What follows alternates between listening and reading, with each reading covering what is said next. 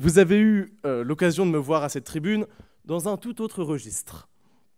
Mais ce soir, oui, ce soir, c'est bien de sciences polémiques dont je vais vous parler.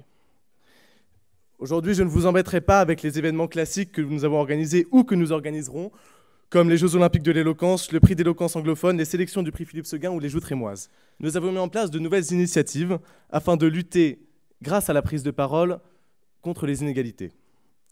Tout d'abord, nous donnons chaque semaine, et depuis le début de l'année, des formations à la prise de parole en public dans les lycées rémois afin de partager notre passion et de la faire découvrir aux plus jeunes. Puis nous avons mis en place le pôle l'oratrice, qui vise à réduire la surreprésentation de la parole des femmes et à réfléchir sur la place de cette parole dans notre espace public. Parfois résister, c'est rester. Parfois résister, c'est partir. Céder la place à notre toute première oratrice, Elisabeth, qu'elle puisse nous combler de ses plus beaux délices.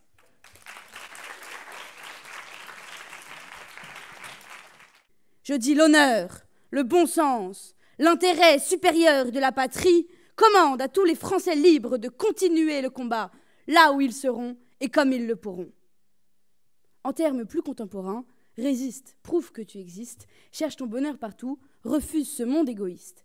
Et en termes encore plus contemporains, est, nique la bac, la vie de ma mère, la douane, les stupes, majeur en l'air. Résister, ce n'est ni rester, ni partir, ni combattre, ni adhérer, ni parler, ni se taire. Résister, c'est se soustraire, faire un pas de côté, s'escamoter au réel. Sioran écrit Le réel me donne de l'asthme. Eh bien, ce soir, mesdames et messieurs, j'affirme que la résistance, c'est notre ventoline.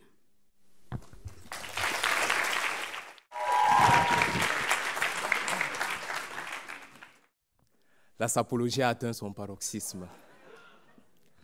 Les Congolais ont cassé Paris, les Tchadiens vont casser l'amphi. Le prochain à prendre d'assaut ce pupitre est le noir de la liste. Oups, boulette en ce temps de campagne. Il parle couramment français et arabe, ce qui lui vaut bien son accent terroristant. Sous le thème, il ne suffit pas d'avoir de l'appétit, il faut aussi de l'estomac. S'il vous plaît, Monseigneur Racim, veuillez rejoindre le pupitre. Mon ex me disait souvent, me montrant que si elle en avait la volonté, elle a la capacité de me faire plier à ses décisions qu'elle prend. En me disant, Racim, dans la vie, il n'y a pas que la bite et les couilles, il y a aussi les seins et le cul. Suffit-il d'avoir de l'appétit? Ne faut-il pas encore avoir de l'estomac? Telle est l'interrogation essentielle, aussi large qu'intéressante, que nous nous poserons aujourd'hui et dont la dimension réduite est traductible en vérité par le proverbe africain qui dit Celui qui avale une noix de coco doit suffisamment avoir confiance en son anus. Je ne suis ni Senghor, ni Molière, ni Baudelaire. Je ne suis qu'un amoureux, vous et moi. Tous cherchons l'amour dans cette vie. Heureux sont ceux qui l'ont sous sa vraie forme. En attendant, le reste souffre pour l'avoir sans véritable pouvoir sur ces terres incoercibles qu'est l'amour et où la capacité échoue face à la volonté de l'autre. Merci. Alors, au début de votre discours, on parle beaucoup de fesses. Du coup, euh, je, voilà, je me demandais si vous aviez euh, beaucoup d'appétit. Alors, est-ce que j'ai l'appétit? De recevoir des coups de fessée. Ça me manque, franchement, ça me manque. Et j'aimerais l'avoir, mais uniquement venant de ma mère.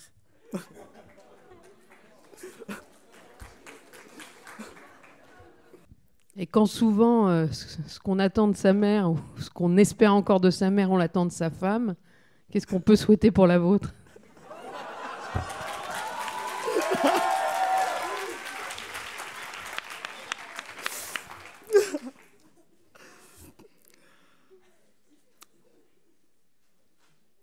Dirais qu'il y aura un rapport de proportionnalité entre moi et elle. Ce qu'elle me donnera, elle le recevra aussi en retour.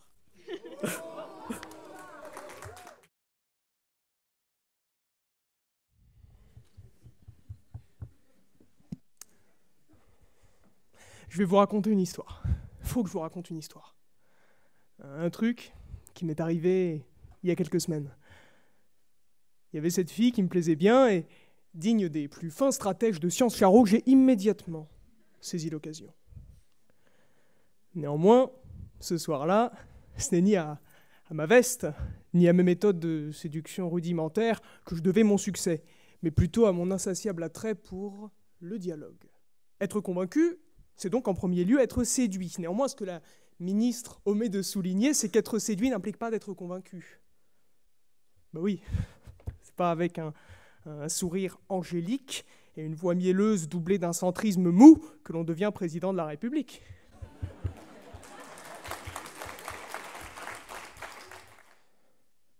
Omettre le fond au, nom de la forme, n'est-ce pas le socle de ce à quoi vous assistez depuis une vingtaine de minutes? Des successions de boutades vulgaires élégamment restituées par un cuistre à trois ou quatre individus qui sont à l'objectivité ce que Manuel Valls est à Barcelone, le tout dans une salle... Pardonnez-moi. Mais malgré tout, comme disait, non sans ironie, un certain François Bayrou, en démocratie, c'est la force des arguments qui compte.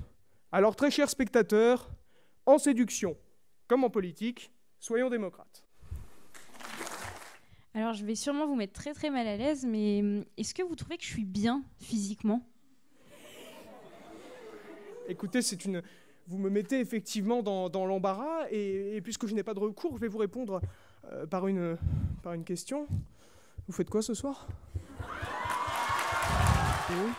Votre sujet, c'était convaincre, c'est séduire, donc il vaut mieux être bien physiquement. Donc ma question se porte sur vos mocassins.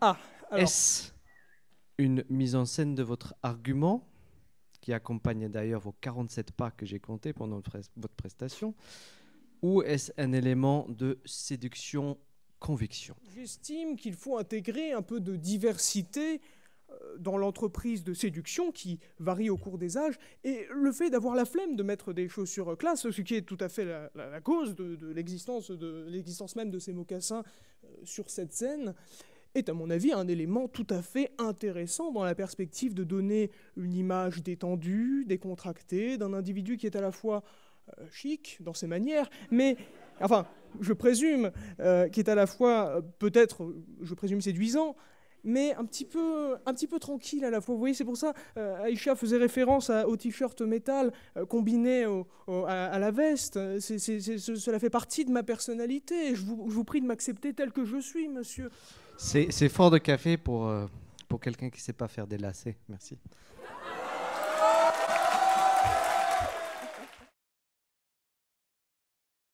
Ainsi, il fut dit dans les temps anciens que nul mou n'aurait le pouvoir entre ses mains, que les politiques devaient être rigides et forts, et ce pour assurer la protection de nos bords. Mais cette conception s'est dégradée depuis, nous menant à la situation d'aujourd'hui.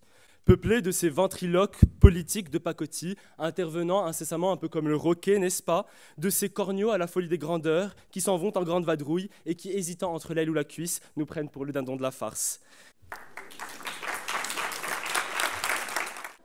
De ceux qui nous expliquent que le temps, ce n'est pas de l'argent, mais plutôt la succession des durées de 9 milliards 192 millions 631 770 périodes de radiation correspondant à la transition entre deux niveaux hyperfins de l'état fondamental de l'atome de césium 133.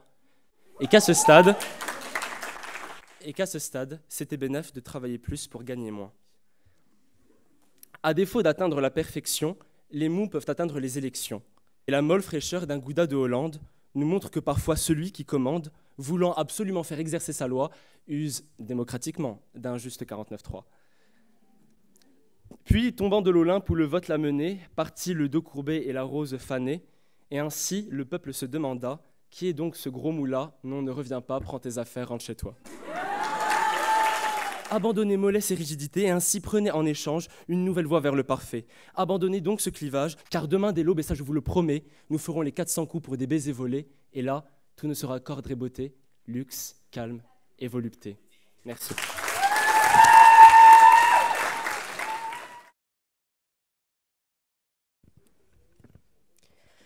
Je suis arrogant. Je suis narcissique. Je suis manipulateur. Je suis un fraudeur. Je suis diplômé du Master Finance and Stratégie de Sciences Po Paris. Je lis entre les lignes autant que je les sniffe. Je suis tout en étant qu'un. En bref, pour citer Montaigne ou PZK, je ne sais plus, j'ai trop de sex appeal. Quand je me regarde, parfois je jouis. J'aimerais tellement être toi, toi ou encore toi plus à gauche. Mais je suis moi, le summa cum du savoir, l'élite de la connaissance. Voyez-vous, j'agonise autant que le Parti socialiste. Je suis désemparé. Je suis incompris de moi-même. Je suis étranger à moi-même. Je suis seul et malheureux. Je suis, je suis. Je suis intelligent.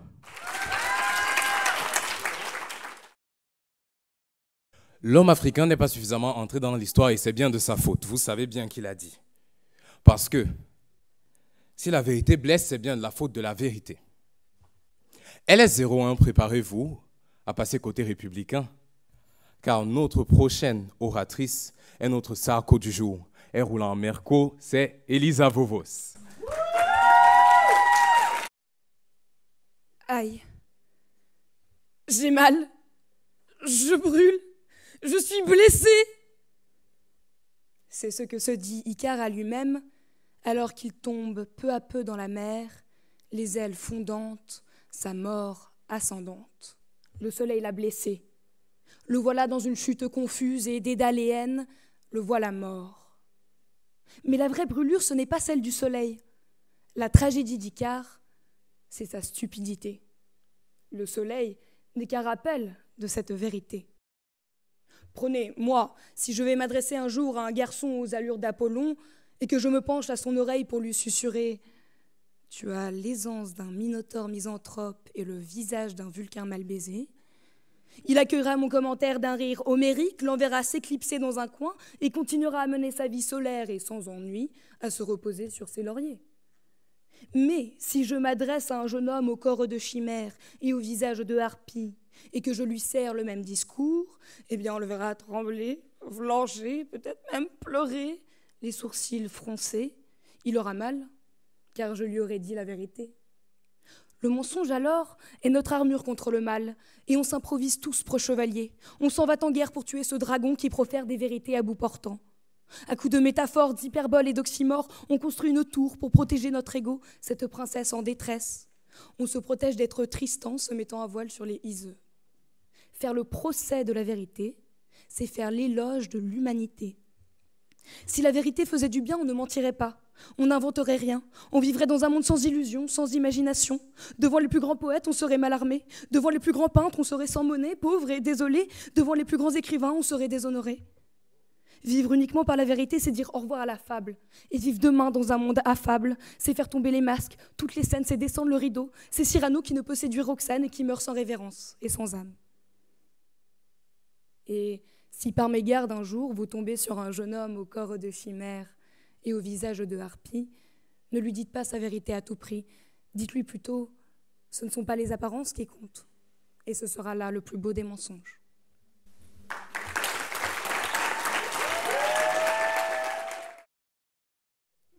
Je vois vos airs émerveillés à l'évocation d'un travail si noble qui a pour but final de montrer pendant les fêtes à vos familles de blanc de blanc que vous n'êtes pas à sec. On raconte que la première coupe de champagne a été moulée sur le sein de la marquise de Pompadour. Dans ce cas-là, sur quoi donc a été moulée la flûte?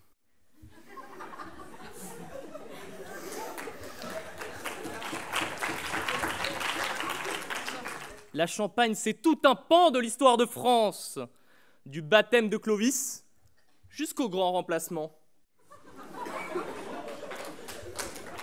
Oui, déjà, ce cher de Gaulle, qui a habité en Haute-Marne, craignait que son village ne s'appelle plus Colombay les deux églises, mais Colombay les deux mosquées. Croix de bois, croix de Lorraine, si je mange, je quitte la Seine. C'est le terroir, la nature, la France des territoires, disent certains avec mépris. Mais c'est la franche rigolade, les bons copains. La Champagne, c'est le champagne, c'est la tradition qui brille dans ce monde mondialisé. C'est un breuvage apprécié par le plus grand monde qui vous fait tourner la tête et vous rend gai, vous émoustille. C'est le berceau d'intellectuels, comme Diderot, le foyer de héros comme De Gaulle. La Champagne, c'est comme une fête. Elle vous prend, elle vous transporte, et vous avez mal à la tête. Et au méprisant de la capitale, qui verrait cette région comme une terre de bouseux, ou le lieu de riches embourgeoisés faisant la sieste à Épernay, je les ignore, je les ignore, et réponds plutôt ce que les supporters science-pistes rémois chantent aux Parisiens lors des compétitions. Mais elle est où? Mais elle est où? Mais elle est où, votre cathédrale? Est-ce François de Rugy qui a un problème de genre? Ou est-ce que les organisateurs ont-ils un problème d'orthographe?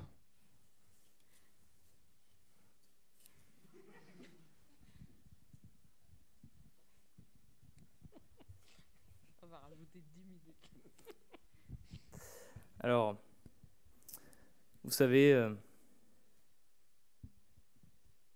en grand féministe,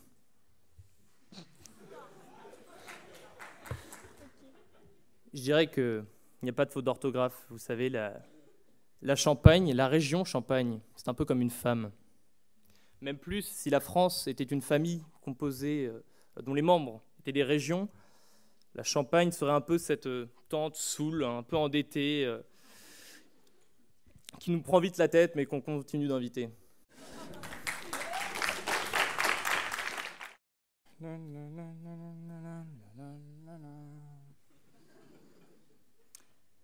J'ai un rapport particulier au costard cravate. Le genre de truc tortueux, chaotique et torturé qui remonte à l'enfance. Pendant 15 ans, j'ai grandi en Bourgogne profonde, là où on préfère les blousons Rivaldi et les salopettes de vignerons au doux tissu soigneusement taillé de la dictature toute puissante du costard trois pièces. Alors, quand je suis arrivé à Sciences Po, j'ai constaté une fracture sociale et une déchirure textile flagrante, et on détruit, sur l'autel d'une pseudo-élégance standardisée, notre singularité, notre liberté et notre humanité. Camarades, le costard cravate, c'est le symbole d'un monde affreux et perdu. Un monde où, si on n'a pas une Rolex à 50 ans, on a raté sa vie. Un monde où l'absolu accomplissement du genre humain, c'est de travailler jusqu'à la mort pour se payer un costard. Camarades, le costard cravate, c'est un outil pernicieux et latent de violence symbolique ostentatoire. C'est l'expression ultra-violente d'une lutte des classes vestimentaires. C'est le cheval de Troie d'un matérialisme dialectique du tissu. Et franchement, franchement, voilà.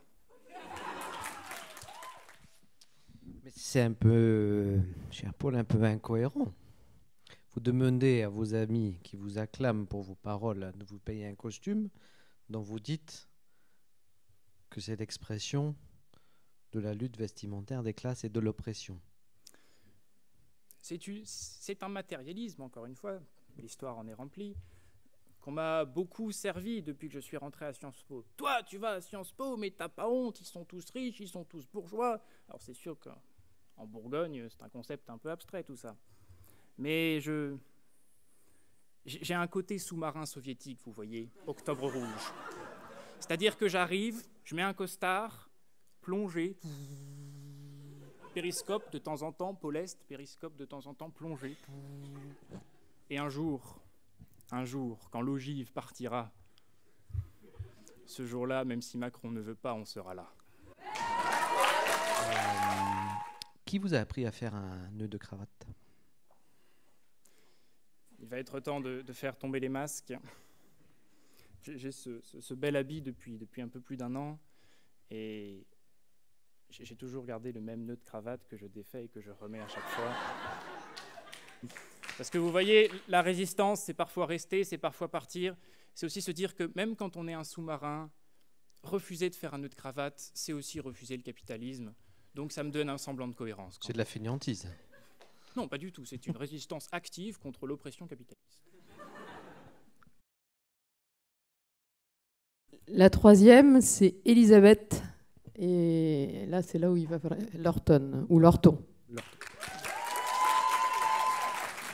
Le deuxième, bien que il y avait quelques incohérences dans les repenses, mais qui dans l'ensemble étaient plutôt, plutôt bien, et bien qu'il soit facile de maltraiter la dialectique marxiste. Voilà, c'est Paul. Et même si effectivement il y avait un gap générationnel dans certaines, euh, certaines réponses, c'est donc Elisa.